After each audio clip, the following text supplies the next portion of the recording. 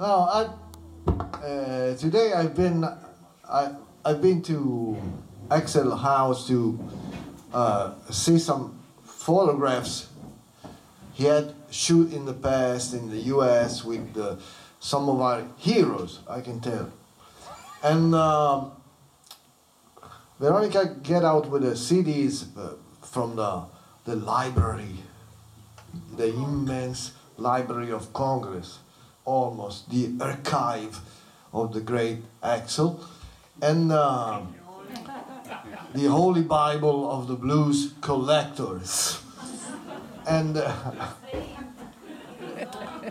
and she get out with the with the one CD by John Fahey, Transfiguration of Blind Joe Death. And uh, it was uh, the, the next instrumental piece that I want to play is uh, an instrumental that John Fahey wrote way back in 1959, I think, or something like that.